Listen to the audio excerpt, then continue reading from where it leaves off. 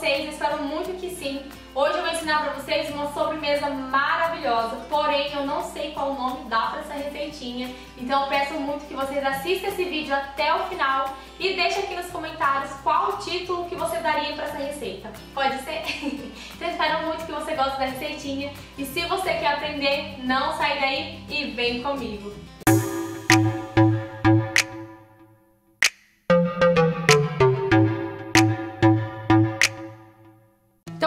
Receita, vamos precisar de uma panela. Na panela coloque uma caixa de leite condensado, lembrando que o meu fogo ele ainda está desligado, tá bom? Junto com esse leite condensado, coloque 3 colheres de sopa de amido de milho e 5 colheres de sopa de leite em pó. A marca da sua preferência, tá bom?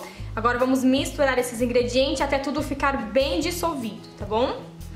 Lembrando novamente que o fogo ainda está desligado.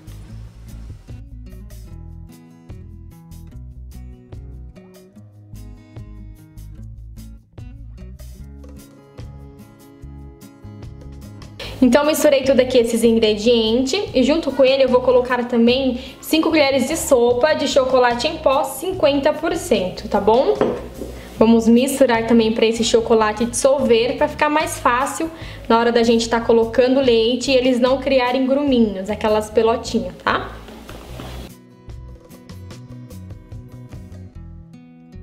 E prontinho, já misturei tudo. Agora vamos colocar o nosso leite. Vou utilizar 500 ml de leite integral. E junto também vou colocar uma colher de sopa de margarina. Agora sim vou estar tá ligando aqui o meu fogo. E olha só, gente, fiz uma bagunça aqui. Deixa eu passar um paninho. e agora vamos misturar todos esses ingredientes, tudo muito bem. Gente, eu peço perdão se vocês ficaram ouvindo barulho de bastante criança. É que as criançadas estão tudo aqui hoje brincando, né? Não é horário de escola ainda, então, né? Estão aproveitando lá fora. Então peço desculpa se vocês ouvirem barulho, ou de cachorro também latindo. Eu já é, já falei várias vezes que eu moro num sítio, né? Então é super normal. cachorro latindo, às vezes você ouvir criança, galo cantando, é super normal, tá bom? Olha, já fiz outra bagunça de novo. Então vou ficar mexendo aqui esses ingredientes, tudo muito bem, até eles engrossar. Começou a engrossar, você deixa por mais 3 minutos, tá? Pra poder esse amido de milho, ele cozinhar bastante. Sempre mexendo, tá? Pra não queimar o fundo. E olha só, gente, como que ficou o nosso creme, que bonito, tá vendo? Então começou a engrossar, você deixa mais 3 minutinhos para poder cozinhar bem o amido de milho, tá? Então ele já tá pronto, já desliguei o meu fogo. Agora vamos transferir a metade desse creme para uma travessa. Bora lá. Então despeja apenas a metade, tá? Divide em duas partes esse creme. Coloca aí a metade dele, espalha no fundo da forma.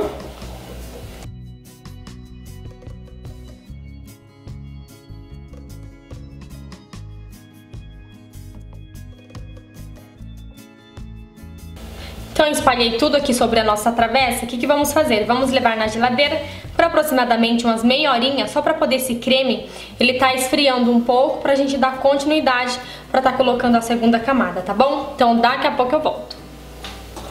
Bom, amados, eu achei que tava gravando, porém eu não apertei o play para poder gravar a receita, então já acrescentei tudo aqui na panela, mas é simples, não tem segredo, vou falar pra vocês o que, que eu coloquei aqui, tá bom? É, eu já liguei o meu fogo e na panela eu coloquei 800 gramas de doce de leite e junto com esse doce de leite eu coloquei meia caixa de creme de leite para poder dar uma centralizada nesse doce, para não ficar um doce muito enjoativo, tá bom?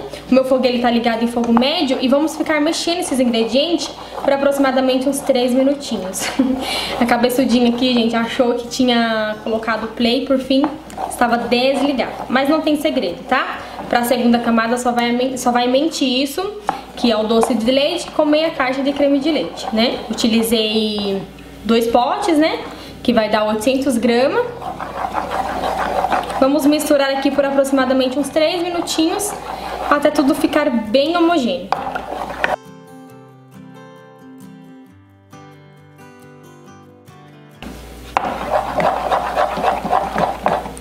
E prontinho, olha só como que é fácil. Ficou apenas 3 minutinhos no fogo.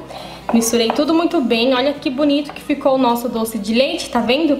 Pode ver que ele é meio é, encaroçadinho por conta, gente, que esse doce de leite que eu comprei é o doce de leite com ameixa, tá? Mas você pode estar tá colocando doce de leite tradicional mesmo, que não tem nenhum problema. Então ele já tá super pronto, vamos desligar o fogo e esperar a outra parte esfriar pra gente dar continuidade. Então daqui a pouco eu volto.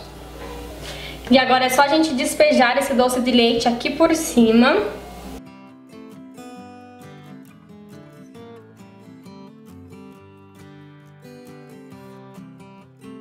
O nosso doce de leite ele ainda tá quente. Então o que, que vamos fazer? Vamos levar na geladeira novamente por mais meia horinha para esse doce de leite ele dar uma firmada e a gente dar continuidade, tá bom? Então já já eu volto.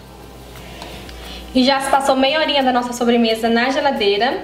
Agora é só a gente despejar o restante do nosso creme aqui por cima com cuidado, tá bom?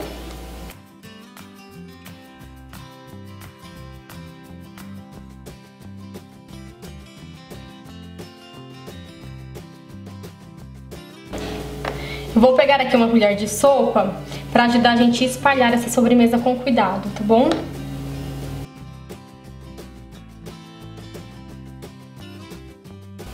E prontinho, agora vamos levar novamente na geladeira, só que dessa vez por duas horas, tá bom? Porque essa receita, quanto mais gelada, melhor ela fica.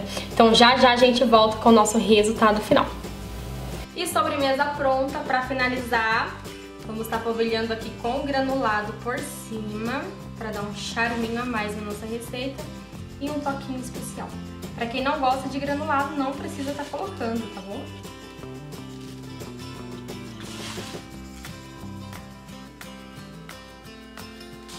Então coloquei aqui o nosso granulado, ficou maravilhosa a nossa receita. Deixa eu pegar aqui uma quantidade com uma colher mesmo, pra mostrar pra vocês, gente. Olha que delícia! Qual a notinha que vocês dariam pra essa receita, hein? Deixa aí nos comentários que eu quero muito saber. E eu espero muito que vocês tenham gostado. Um mega beijo no coração. Deus que abençoe cada um de vocês. E até o próximo vídeo. Tchau!